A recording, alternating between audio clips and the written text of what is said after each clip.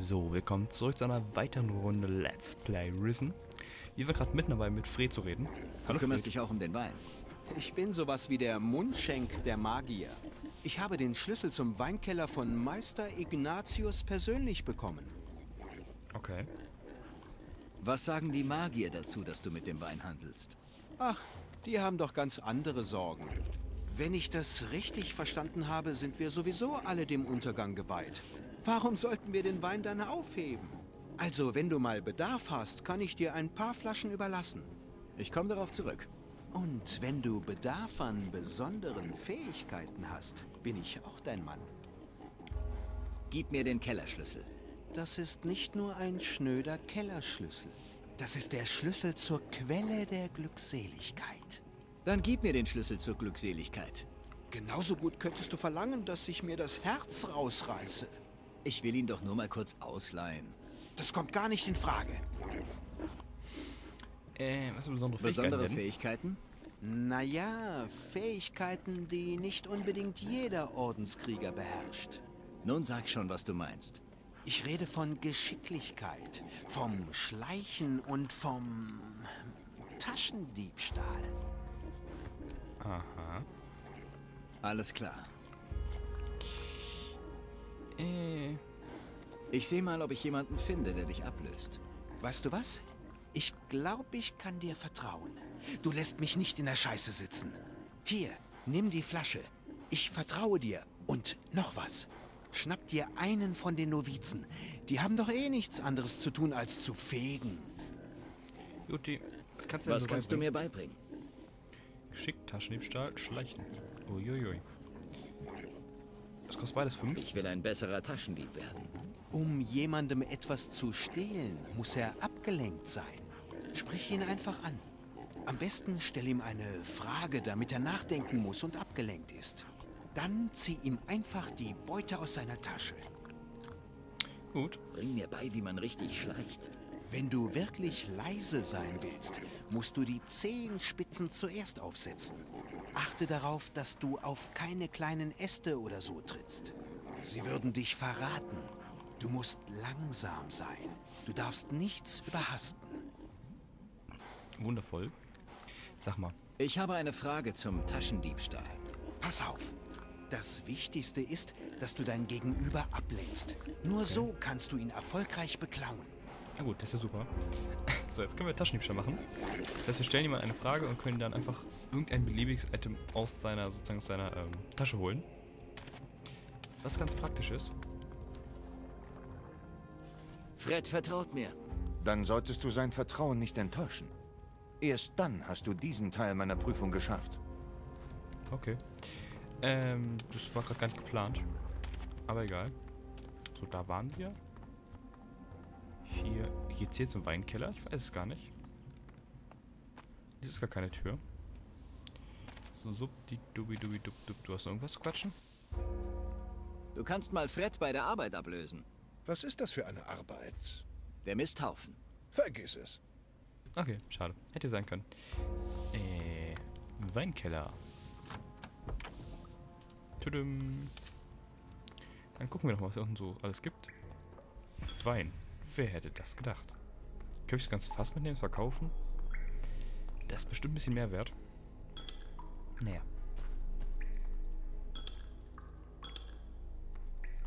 Meine Güte. Zack.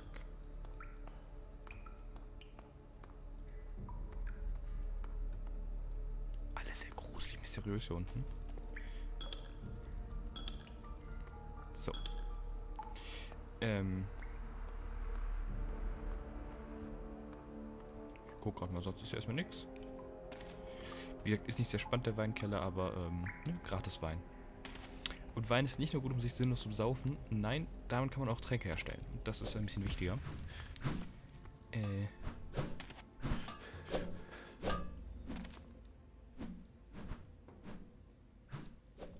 Hast du auch richtige Waffen? Was würdest du davon halten, wenn ich dir mal eine von meinen Waffen um die Ohren haue? Dann wirst du schon sehen, wie gut die sind. Schon gut. Fump, und da ist seine Waffe weg. Und so können wir sozusagen halt das ganze Zeug einmal wegholen. 300 Gold. Hm. Ich wollte gerade Zeig mir ausrechnen, deine Ware. weil er hat ja auch nicht wenig Gold dabei gehabt. Ob es sich gelohnt hätte, sein Gold zu stehlen. Nee, hätte sich nicht gelohnt. Ähm, den kannst du noch haben.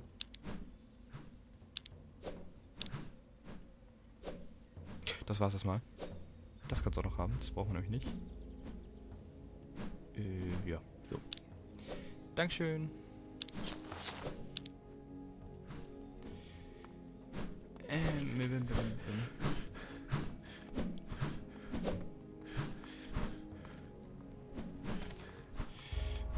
So, was müssen wir jetzt mal machen? Ich bin gerade ein bisschen raus. Grundausbildung.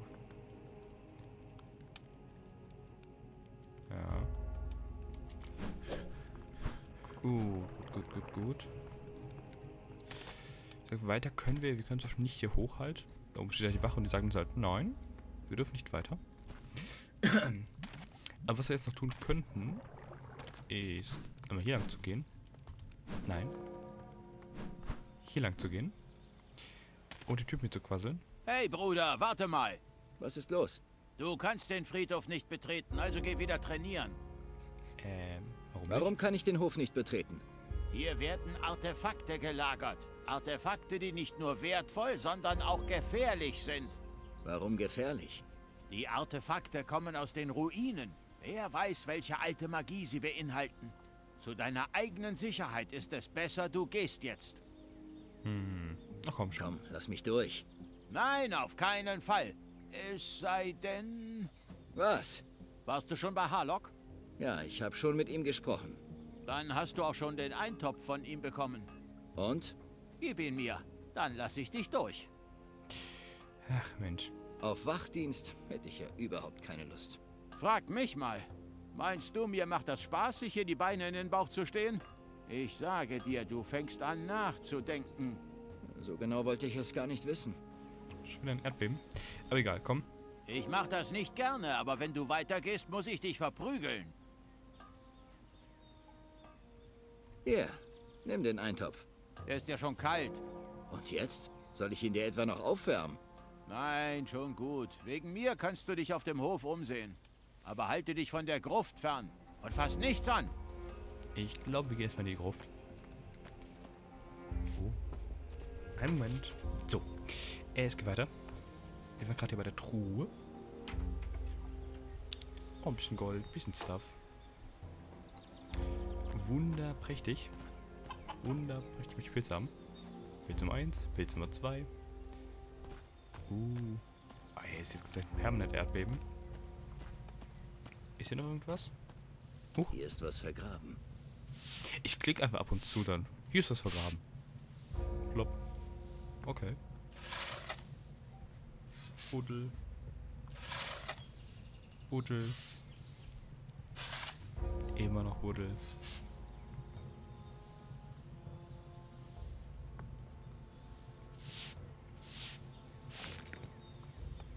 Uh. Rums. Einfach so eine gigantische Truhe aus dem Boden holen.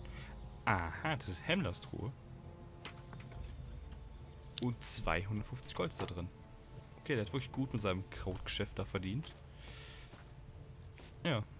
Und da er tot ist und da wäre sozusagen, ähm, ja, sowas wie die Erben sind da wir jetzt in dem Haus, äh, in seiner, seiner Stube wohnen.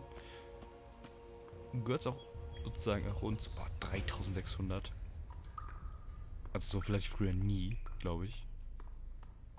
Oh, eine Steinplatte. Helden der alten Zeit. In den alten Tagen lehrte ein Mann die Kunst des Kampfes. Berengier, ein Magier, der den Kampf mit dem Stab meisterlich beherrschte. Er sagte einst zu seinem Schüler, ich kann dir den Weg weisen, aber gehen musst du ihn selbst. Ich kenne das aus Matrix. Aber gut. So, bist du? Du bist tot. Du bist auch tot. Kein Toter. Vom Schlösserknacken verstehe ich nichts. Ah, schade. Da kommen wir wohl nicht rein. Ein Skelett. Nichts. Noch ein Skelett. Und der Thron.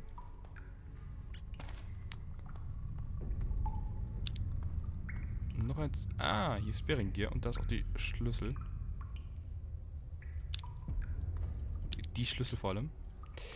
Da ist die Schlüssel. So, gut, dann können wir es mal öffnen. Hui. Und sie da. Weisheit im Kampf. Wir sollen noch Weisheit im Kampf finden. Ja, gut. War ein kleines Rätsel. In Wirklichkeit war es einfach nur ein Buch.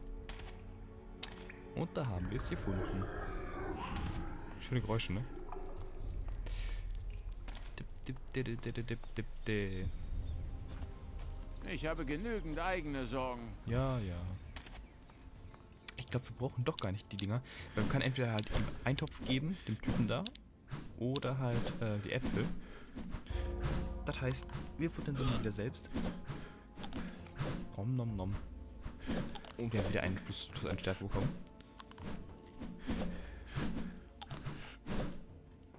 Noch? Na komm. Na komm, futter sie eben auf. Lecker Schmecker. Äh, gut. So, lieber Vitus. Ich habe Weisheit im Kampf gefunden. Du hättest mir auch sagen können, dass es sich um ein Buch handelt. Ja, aber das wäre nur halb so witzig gewesen. Es ist ein gutes Buch. Du solltest es lesen, falls du das noch nicht getan hast. Du kannst das Buch behalten. Wenn du es durch hast, gib es einem, der es lesen wird. Diesen Teil meiner Prüfung hast du bestanden. Wunderbar. Äh, gut. Dann lesen wir das doch mal.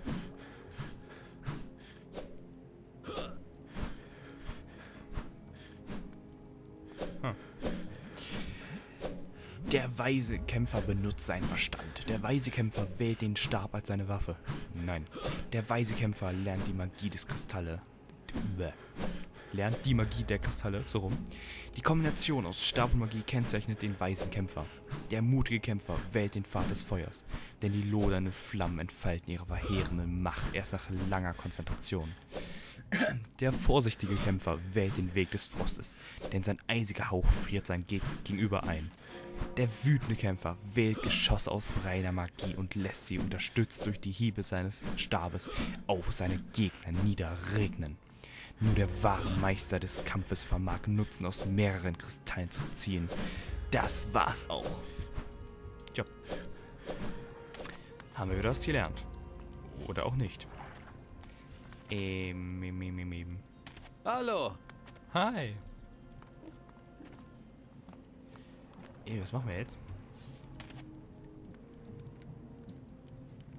So, ähm.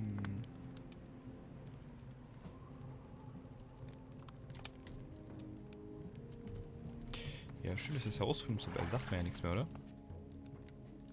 Hey, kennst du einen guten Witz? Hm, ja. Pass auf. Drei Rekruten sollen eine Ruine untersuchen. Der erste geht rein.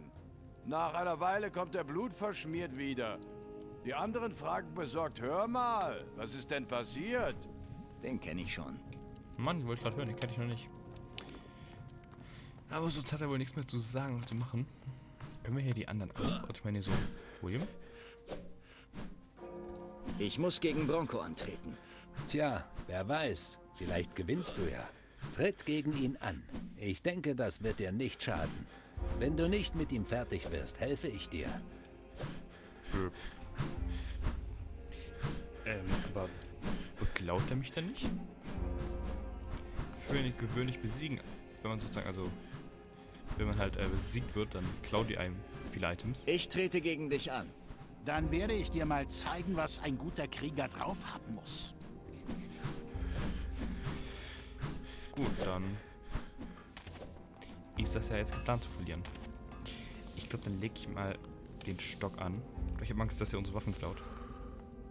Jetzt gibt's was mit der groben Kelle. Eieiei, macht er viel Schaden. Ja.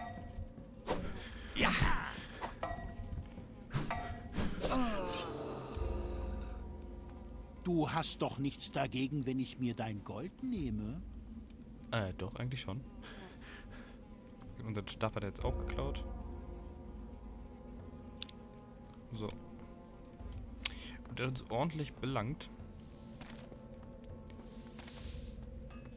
So, ich hoffe, du hast deine Lektion gelernt. Fordere mich erst wieder heraus, wenn du trainiert hast. Okay, gut. Naja gut, da haben wir jetzt kurz verloren. Unser Geld verloren, aber das kriegen wir hoffentlich wieder. Wie kann ich mit Bronco fertig werden? Tja, entweder du trainierst so lange, bis du ihn besiegen kannst. Oder? Oder du sprichst mal mit Kaspar. Der kennt sich mit Tricksereien aus. Okay, gut. Reden wir mit Kasper. Kasperchen, Kasperchen, wo bist du denn? Wo bist du denn, Dapsu? Ich muss gegen Bronco antreten. Ach du Scheiße, schätze, er mag dich nicht besonders. Kannst du mir helfen? Weißt du, warum er so gut ist? Er hat ein magisches Schwert. Du hast nur eine Chance, wenn du es schaffst, dass er mit einer anderen Waffe gegen dich antritt. Worte allein werden dafür nicht ausreichen. Mach ihn betrunken. Gib ihm Wein. Und das soll funktionieren? Klar. Und wenn er ein paar Flaschen Wein getrunken hat, gibst du ihm einen richtig harten Tropfen. Einen Wein, der seine Birne in einen Haufen Gebrösel verwandelt. Und du musst dir vorher natürlich eine andere Waffe für ihn besorgen. Eine schlechte Waffe. Okay, gut. Ja, wer hat wohl Waffen? Wer hat noch schlechte Waffen? Ich würde mal behaupten, der Schmied, ne? Äh. Ich brauche eine schlechte Waffe. Willst du mich beleidigen? Nein, ich meine es ernst. Du hast doch bestimmt eine schlechte Waffe. Ich habe nur gute Waffen. Also hau ab, du Spinner. Aber es geht um Bronco. Ist mir egal. Hör zu. Ich weiß, dass du ein guter Schmied bist. Ich bin ein hervorragender Schmied. Genau. Aber hast du nicht irgendein rostiges, altes Einzelstück, das du nur aus sentimentalen Gründen aufhebst? Naja, also, ich habe da noch ein Stück Stahl. Das hat ein tumber Lehrling vor 20 Jahren aus einer Bratpfanne zusammengeflickt. Klingt gut. Es lag jahrelang in einer Pfütze mit fauligem Wasser. Sehr gut. Es ist schwer, unhandlich und stumpf. Wahrscheinlich das schlechteste Schwert der Welt. Das ist genau das, was ich suche. Kann ich es haben? Da du dich dafür begeistern kannst, sollst du es haben. Dankeschön. So. Würde ich sagen, brauchen wir jetzt nur noch ein bisschen Leben. Und dann geht's ran an Bronco. Aber ich würde sagen, das ist in der nächsten Folge von Let's Play Risen. Vielen Dank fürs Zuschauen und bis zum nächsten Mal.